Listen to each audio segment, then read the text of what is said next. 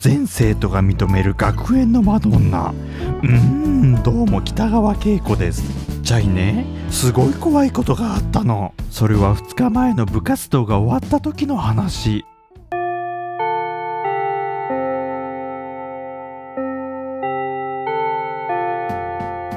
ああもうやだ。オリオンが外れちゃったよね。下校の時ほど身だしなみ。その時だったの。